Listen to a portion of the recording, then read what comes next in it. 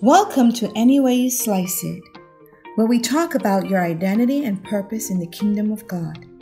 Come join author Ricardo Richardson as we slice our way to the core of God's Word to experience the beautiful and transformational discovery of who we are and why we exist, no matter how we slice it.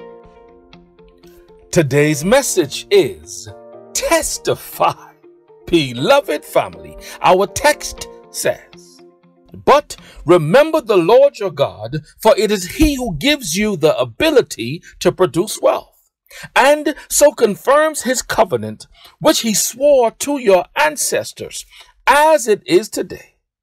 If you ever forget the Lord your God and follow other gods and worship and bow down to them, I testify against you today that you will surely be destroyed. Deuteronomy 8 18 and 19. Go into many churches on any given Sunday and you may hear the statement, I come to testify about the goodness of the Lord.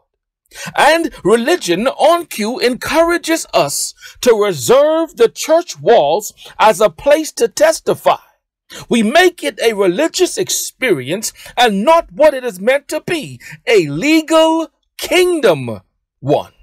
But go into any court of law any day of the week and you will hear everyone who gets on the stand doing what? Testifying. Why? Because that is what a witness does. The witness is called to the stand in the court of law to testify, to give a testimony about situations relevant to the case. Listen, religion has done a number on the world today. It takes kingdom principles and makes them religious doctrine. That is a dangerous spirit in the earth. Let's uncover some truth about a court.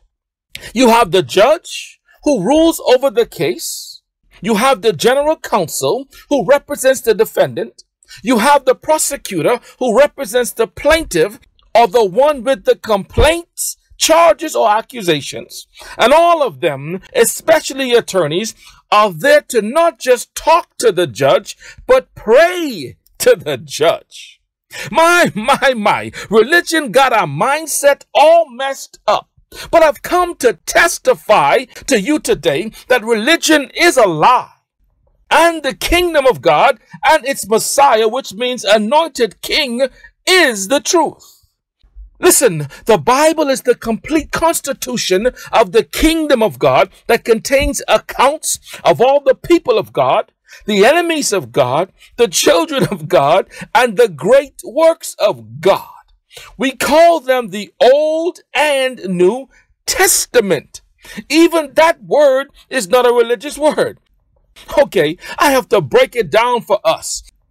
The word testament is defined as, quote, a person's will, especially the part relating to personal property, end quote.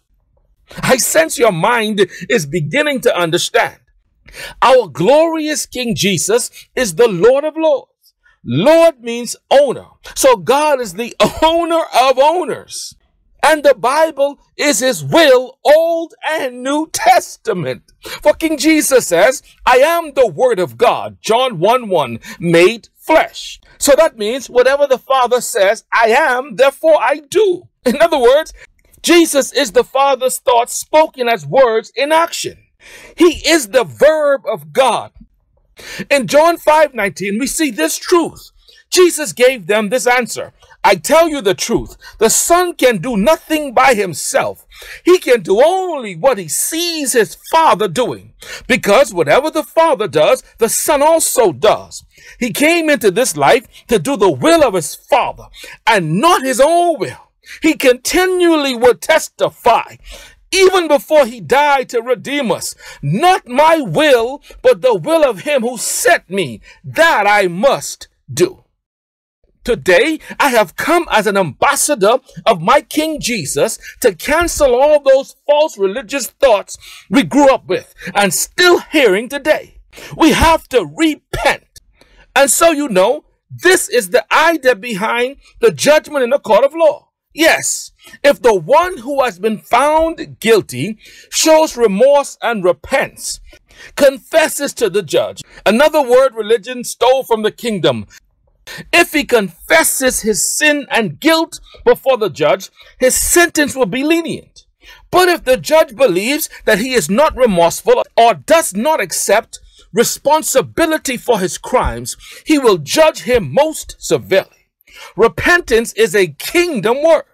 It simply means change one's mindset or thinking. To turn away from the lies of the world and religion and embrace the truth of God. Okay, let me show you that your test is for a testimony recorded as a testament relating to your real life case. In our opening text, we see that Moses testified. He says, Remember the Lord your God, for it is he that gives you the power to get wealth. But if you forget him, I testify against you today that you will surely be destroyed. Moses can testify because God demonstrated his destructive power to Pharaoh and the Egyptians when he led his children out in the Exodus. In Job, we read, Your own mouth condemns you, not mine. Your own lips testify against you. Job 15 6. It is what we confess or say with our own lips that reveal what we believe in our hearts. For out of the abundance of the heart, the mouth speaks. Our words are the testimony of our lips. If we serve God or not, if we live in faith or not, it's about our testament. King David says, Hear, O my people, and I will speak. O Israel, and I will testify against you. I am God, even thy God. Psalm 57. And when we move from the Old Testament to the New Testament, we still see people testifying. Ah, listen, even the rich man who died after living a life full of wealth wouldn't give poor Lazarus any relief. He said, Father Abraham, have pity on me and send Lazarus to dip the tip of his finger in water and cool my tongue, because I am in agony in this fire. But Abraham replied, Son, remember that in your lifetime you received your good things, while Lazarus received bad things. But now he is comforted here, and you are in agony. So the rich man replies, Don't miss this, y'all, for we cannot testify of what we do not know. But he says, Please, I beg you, Father Abraham, send Lazarus to my family, for I have five brothers, that he may testify unto them, lest they also come into this place of torment. Luke 16 28. Oh, you're not convinced yet? Fucking Jesus says, Truly, truly, I say unto you, we speak that we do know and testify that we have seen, and ye receive not our witness. John 3 11. I just told you. Your testimony has to be what you've seen and you know, and it has to be confirmed by other witnesses who can testify to the truth. Ah, family, this seed is so good today. Let it sink deep down into the soul of your hearts. Our Lord King Jesus testifies. The world cannot hate you, he says, but it hates me because I testify that its works are evil. John 7 7.